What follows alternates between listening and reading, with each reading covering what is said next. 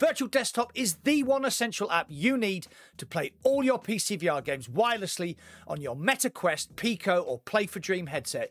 I use it to play all my standalone VR games like Forefront, Into the Radius 2, and Valve's masterpiece, Half Life Alyx. The process is the same for all the headsets I've mentioned, but I will be using my MetaQuest 3 to show you all the steps, as this, along with the Quest 2, is probably the most numerous and most used headset on the Steam VR ecosystem.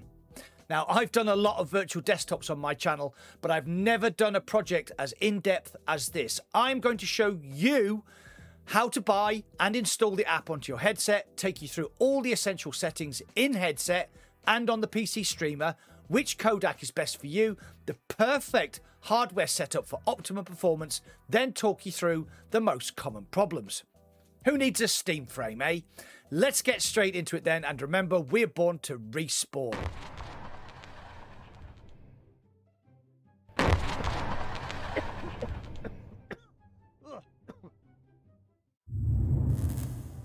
Virtual Desktop headset app and PC stream app.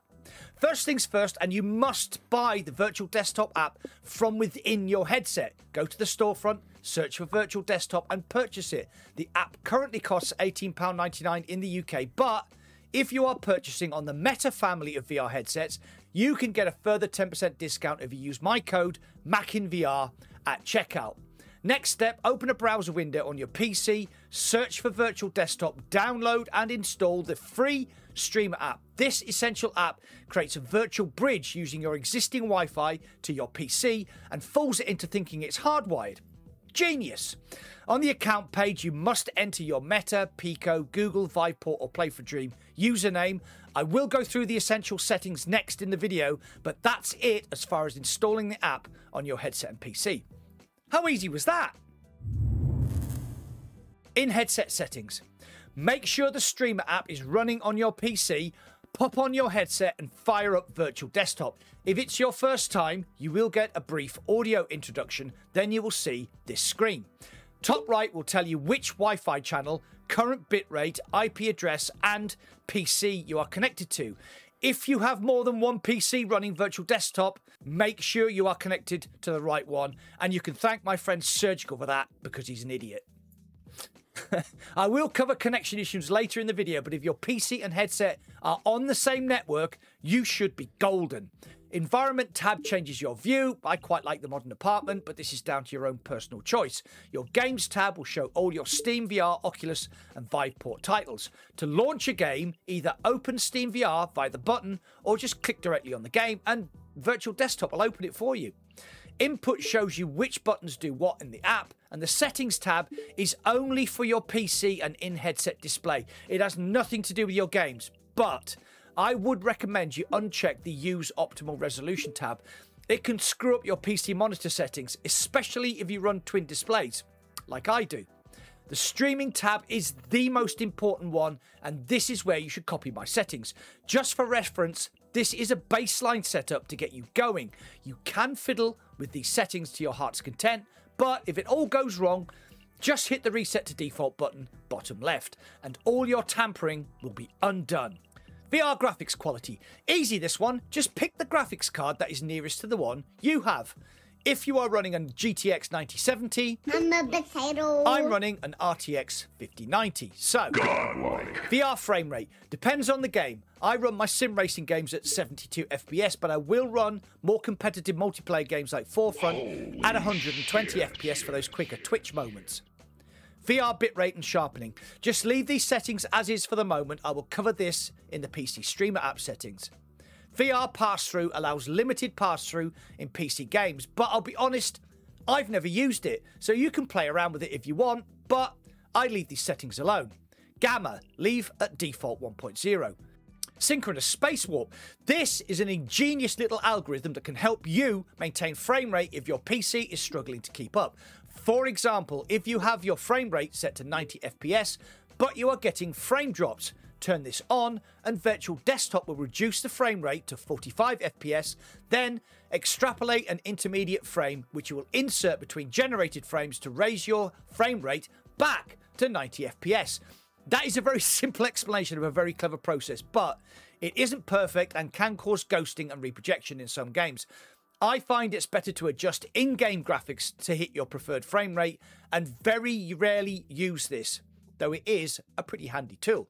Snapdragon Game Super Resolution. What is it? Snapdragon GSR is a single pass spatial aware super resolution technique developed by the Qualcomm Snapdragon Studios to achieve optimal super scaling quality at the best performance and power savings.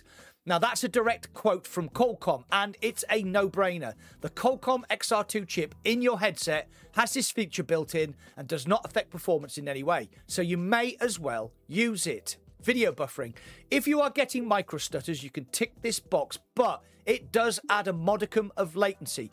I prefer not to use it as my setup is optimized for wireless streaming, but it is another tool available to you if you have that specific problem. Center to play space, track controllers, and forward tracking data to PC. Just copy my settings.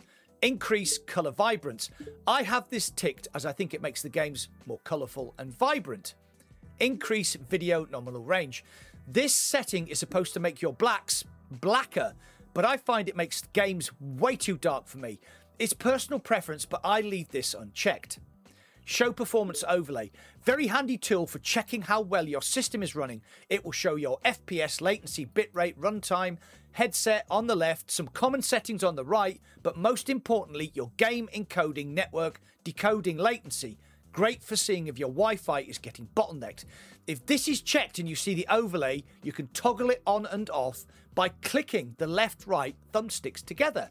Top tip there for you. Bottom right is the reset to default button if it's all gone a bit Pete Tong.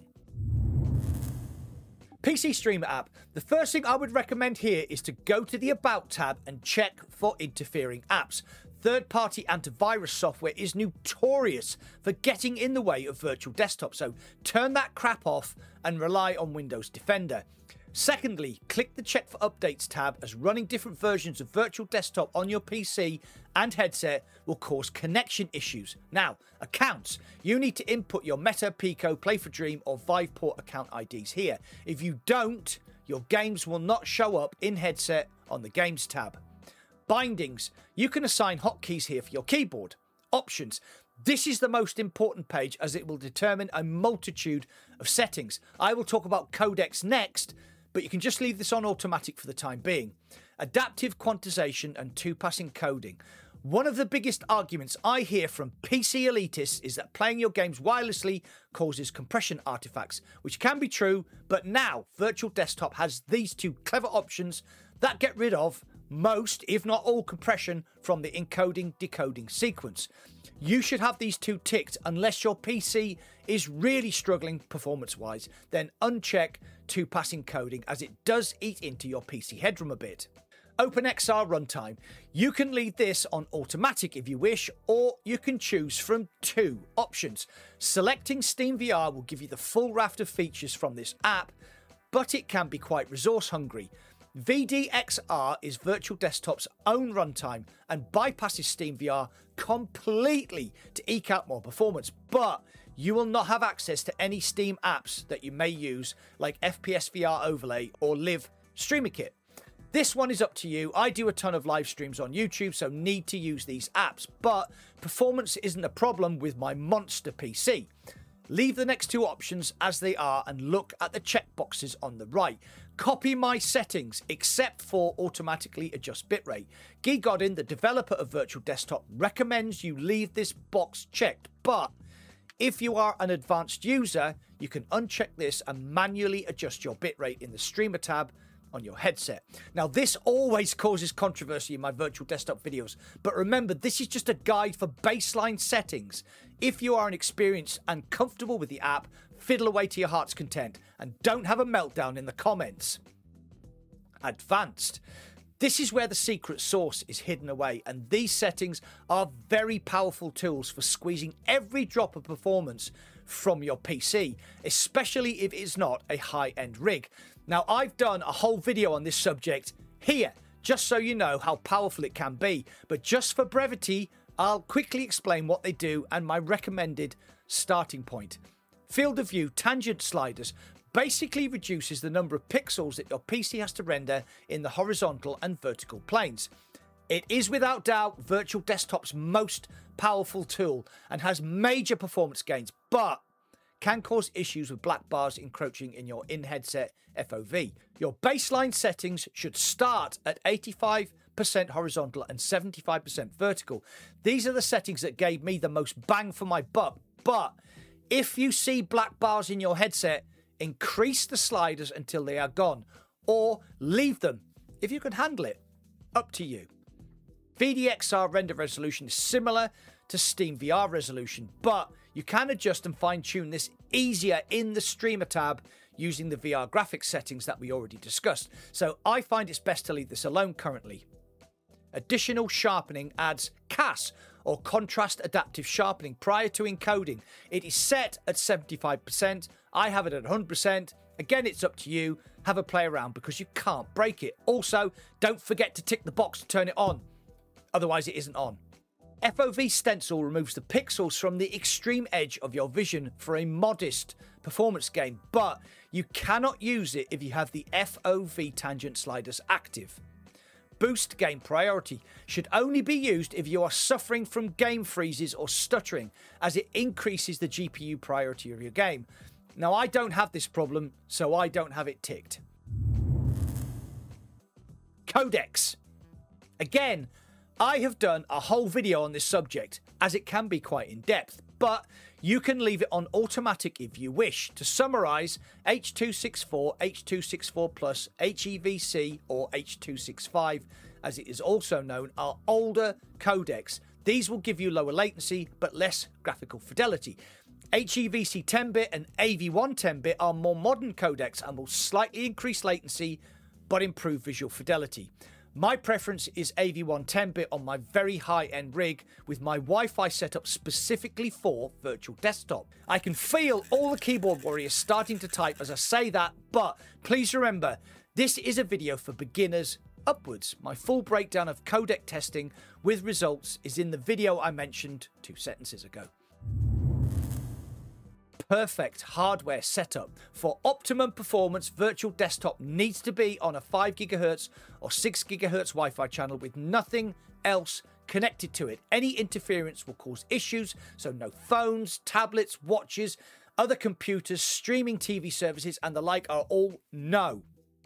The best option is to have a dedicated router. Yes, I'm English and we pronounce it router. In the UK, a router is for cutting wood, just so you know. Anyway, a dedicated router set up as an access point, password protected, and not available to any other device will give you a perfect wireless experience. I have this TP Link Archer BE700 tri-band Wi-Fi 7 device, but that is overkill. Any Wi Fi 5, 6, or 6E router will be suitable. Connect this to your ISP router via an Ethernet cable, then connect your headset to this device's Wi Fi for optimum wireless game streaming common problems. Well, hopefully you should be up and running by now, but here is a list of common problems and how to get around them. Can't install Virtual Desktop.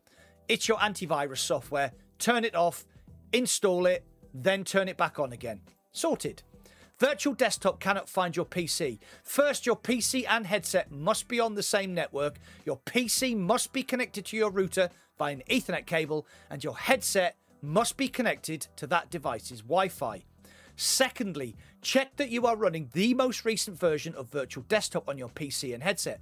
On the PC Streamer tab, go to the About tab and check for updates. The version number is here. Open Virtual Desktop, go to your library, find Virtual Desktop, click the three dots here and update if necessary. The current version number is here on the in headset menu. Is the game playing in flat screen mode? Double tap the left meta button to bring up the virtual desktop menu, then switch to VR mode. Poor frame rate or black bars when you move your head. Open the performance overlay in the streamer tab and check your overall latency. Look at the game, encode, network, and decoding latency. Are any showing red or yellow? Go to the computer tab in your headset menu and check the bitrate. Is it lower than 400 megabits per second? It's probably a Wi Fi issue. Lastly, and this has happened to me recently, Virtual Desktop couldn't find my PC even after checking all of the above. So I just restarted my headset and PC, then everything worked fine. If you have any problems that I haven't listed above or have any questions about Virtual Desktop, please join my Discord server and head over to the Virtual Desktop helpline. If I'm not there, one of my experienced members will usually be able to help you out. I've put a link in the description down below. Well, that's it. My comprehensive guide to all things virtual desktop. Remember, if you fancy picking up a copy of this incredible app on a Meta headset, please use my discount code MACINVR for 10% off the purchase price. As always, what do you think? Are you a fan of wireless PC VR gaming? Do you use virtual desktop already? Do you prefer another wireless streaming app like Airlink or Steam Link? You know the drill. Get involved and comment down below.